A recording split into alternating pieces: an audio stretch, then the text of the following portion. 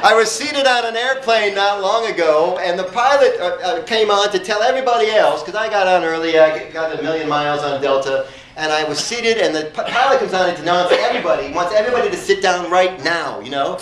And he said, uh, because we're expecting weather, and we'd like to take off early. I'd never heard a pilot say this before. I didn't know a plane could take off early. Turns out if everybody's on the plane that's supposed to be on the plane, they can leave early, right? It works like a charm, man. Everybody sits down, buckles up, everybody's ready to rock.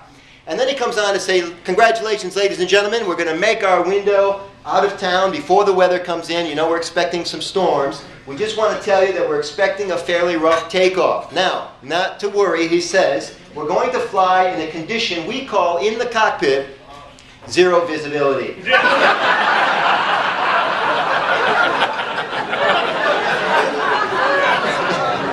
then he says, but don't worry, it's safe. and what's interesting is everybody immediately looked out the window to see what zero visibility looks like. And he was right, man. It was a herky jerky flight. I mean, rock and roll takeoff. Even us veteran flyers, white knuckle deal taking off. But interesting thing happened as this plane gained altitude through the murky, heavy atmosphere, all the cloud cover, right? Is we flew and we flew and we flew into bright, pristine sunshine. And you know why this is possible, Rotary? Because the sun is out every day. The sun is out today. On this cloudy day on Mackinac Island in the Grand Hotel, the sun is out.